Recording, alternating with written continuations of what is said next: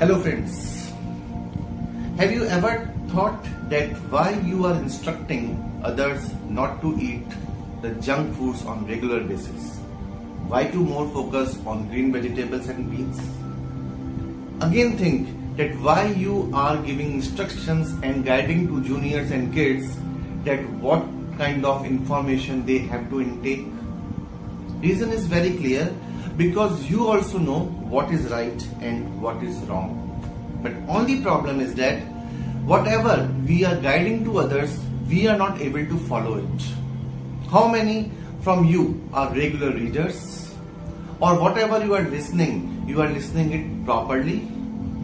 See, when we're talking about the junk food, it is good for taste, but not for health. We all know. Same thing implements when we are giving the knowledge to our mind it means that we want to give some specific and fruitful knowledge to, to our mind. But what is happening? The whole world is flooded with lots of information and whatever is coming in front of us, we are taking it. Now problem here is that because of that, many times even we don't know that what exactly we are doing and where we would like to go. Now, if you are working on your behavior or habits that means you need to work it on uh, you have to work on them very regularly. But in case if you are not doing it properly that means somewhere you are not able to follow what exactly you are doing. Then how to do it? It's very simple. The way you track your other activities the same thing you can do here also start tracking your behavior and habits. Whatever the activities you thought to complete, then track it. Now, for example, if you want to read 10 pages of a book daily, then after reading the 10 pages, you either cross somewhere or mark somewhere where you can see on daily basis that yes, I have completed my today's work. And when you are doing it on daily basis, it becomes uh, obvious for you. In my last video also, I told about the obvious. Make your habits simple and obvious.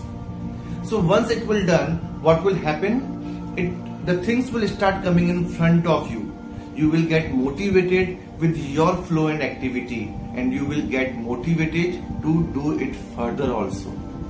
And once it is done, definitely if you had planned that for 30 days I will continuously reading 10 pages of a book daily or I will listen good videos daily then definitely you are actually tracking your habits and move towards your new behavior and identity.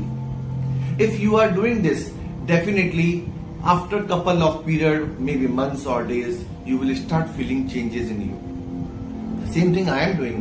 If you go on my channel, you will see that I have started initially without bothering that how I am speaking, what kind of the environment it is. But I thought to yes, just to track my videos and, and continuously I should give one video almost on daily basis. I am doing it. And with that, by chance the YouTube is a good visual tracker where we can see that what kind of the videos we are giving daily. And here I can track that how it is going which attracts me also and motivates me to present another video and finally give me a satisfaction that yes I am going with my right track and I am delivering my contents as per my wish. So it is a reward for me in fact. So in this way if you will also try to track your habits definitely it will impact your behavior and identity. So don't hesitate it. Whatever you want to do other than your normal life, do it but track it properly. I hope you like my concept today. Requesting you to please watch and like this video.